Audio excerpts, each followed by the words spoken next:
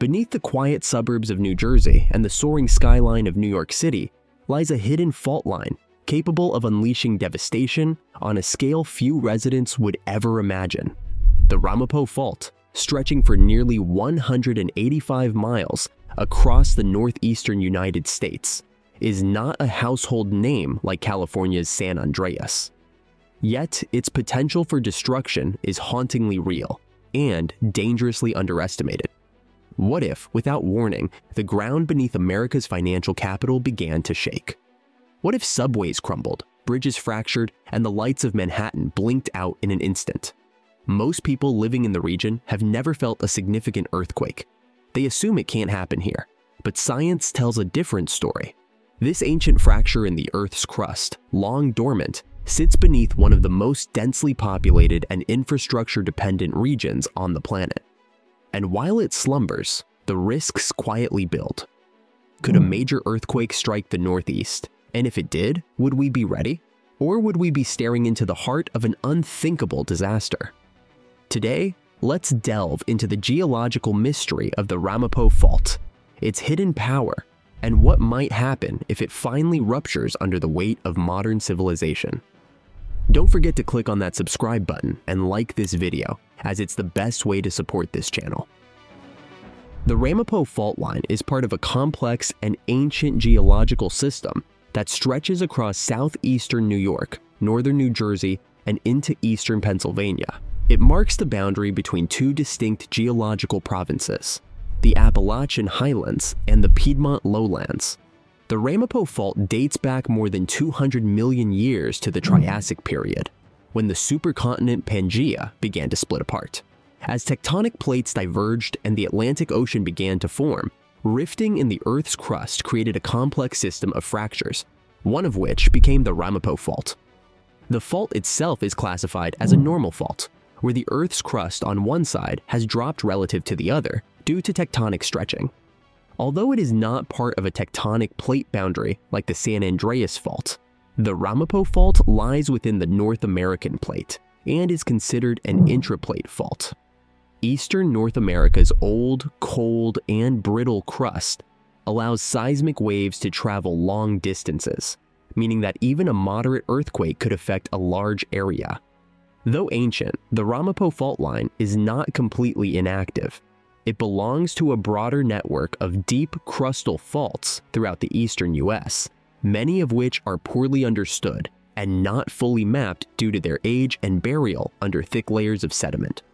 The fault's proximity to major cities makes this seemingly quiet fault geologically significant and potentially hazardous. The seismic history of the Ramapo fault line is marked by relative quietness, but it is far from inactive. While it has not produced a large surface rupturing earthquake in recorded history, numerous earthquakes have occurred in its vicinity, reminding scientists that the region remains seismically capable. The most notable historical event was the 1884 earthquake near Brooklyn, New York, estimated at magnitude 5.3. This quake caused widespread panic, toppled chimneys, cracked buildings, and was felt as far away as Virginia and Maine. More recently, minor earthquakes have been recorded in New Jersey and New York, including a 3.1 magnitude tremor in 2020 and a 2.2 magnitude event in 2010. These small quakes suggest that stress continues to accumulate in the fault system. Unlike the West Coast, the seismicity of the eastern US is less frequent but more far-reaching, as seismic energy travels more efficiently through the cold, rigid crust. A moderate earthquake in New Jersey could be felt from Washington, D.C. to Boston. This means even a mid-range quake on the Ramapo Fault could affect tens of millions of people across several states. The Ramapo Fault's deep structure and long periods of inactivity make it difficult to predict, but the presence of historical and recent activity confirms that the region is not immune to earthquakes, and the potential for a more damaging event cannot be ruled out. Though the Ramapo fault line has remained largely dormant in modern history, the possibility of a major earthquake in the region cannot be dismissed. Seismologists agree that while the fault is not highly active, it is still geologically capable of producing an earthquake in the hmm. magnitude 6.0 to 7.0 range. This is particularly concerning given the dense population and critical infrastructure that lie above it. The challenge lies in the nature of intraplate faults, like Ramapo, which are far from tectonic plate boundaries and are often buried beneath thick layers of sediment, making them harder to study and monitor. Unlike more active fault zones in California, the lack of frequent tremors does not necessarily mean the region is safe. It simply means that strain could be building silently over time.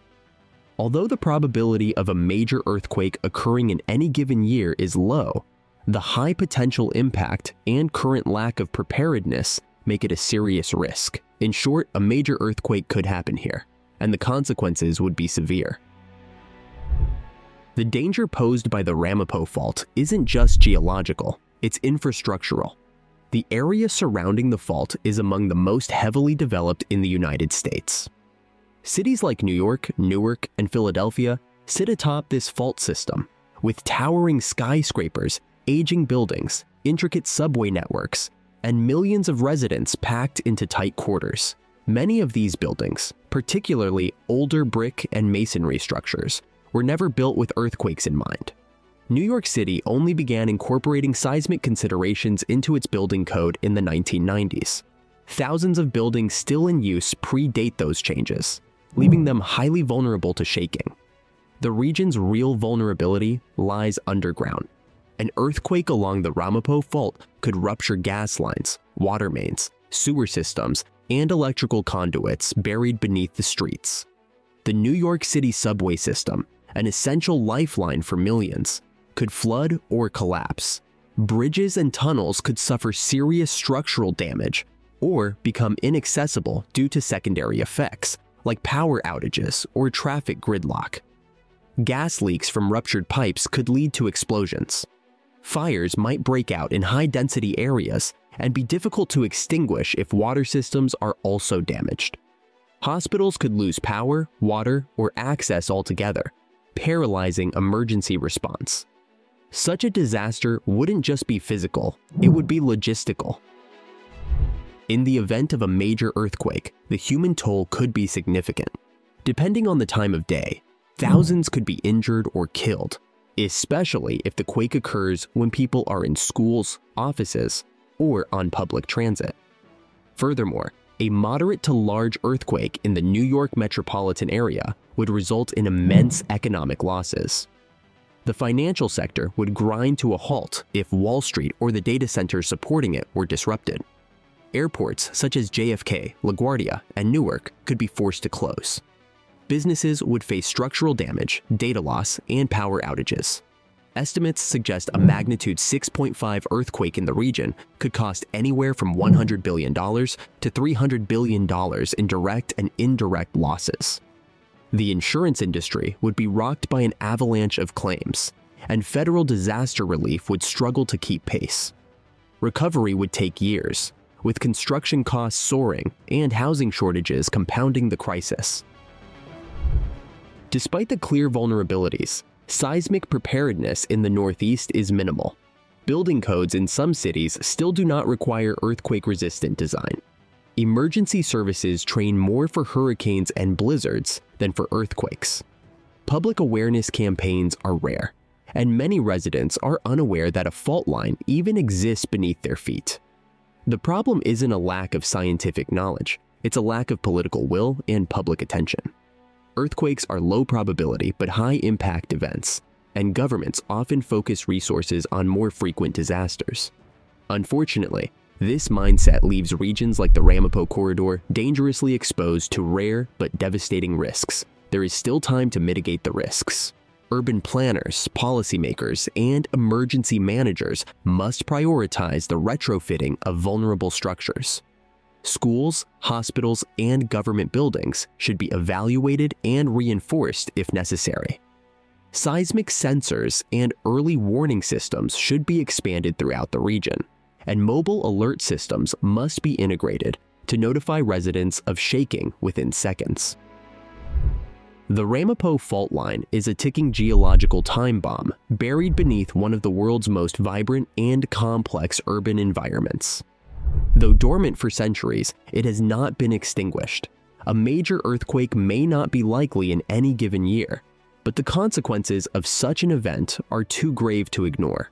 In a region where millions of lives, trillions of dollars in infrastructure, and global economic systems converge, the margin for error is razor thin.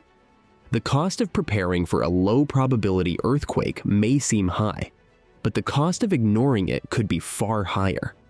The ground may be stable today, but it won't be forever,